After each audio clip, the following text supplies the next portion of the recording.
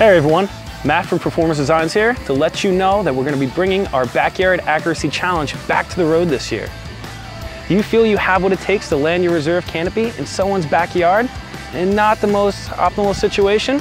We're going to put that feeling to the test when we hook up one of our Optimum Reserves into your main tray and let you try to land it in our very authentic, highly professional inflated backyard. The Backyard Accuracy Challenge will be exclusively held at the Vector Camps this year. And the best part about it all, everyone who participates will be entered into a drawing to win a free PD Optimum Reserve.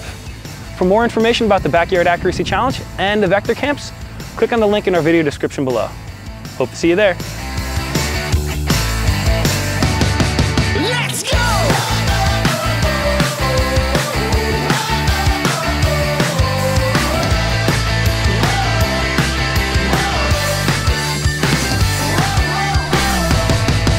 Can't land in the backyard, you shouldn't be jumping. Let's go!